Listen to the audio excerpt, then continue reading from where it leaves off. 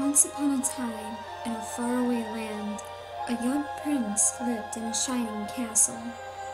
Although he had everything his heart desired, the prince was spoiled, selfish, and unkind.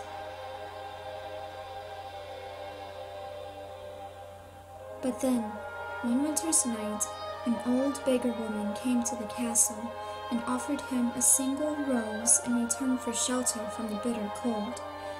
Repulsed by her haggard appearance, the prince sneered at the gift and turned the old woman away, but she warned him not to be deceived by appearances, for beauty is found within. And when he dismissed her again, the old woman's ugliness melted away to reveal a beautiful enchantress. The prince tried to apologize, but it was too late, for she had seen that there was no love in his heart. And, as punishment, she transformed him into a hideous beast and placed a powerful spell on the castle and all who lived there. Ashamed of his monstrous form, the beast concealed himself inside his castle with the magic mirror as his only window to the outside world.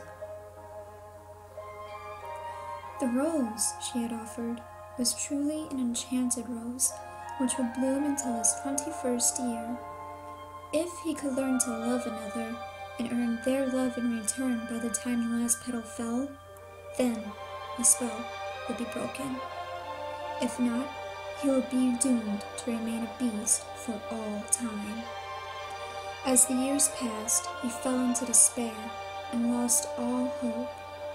For who could ever learn to love a beast?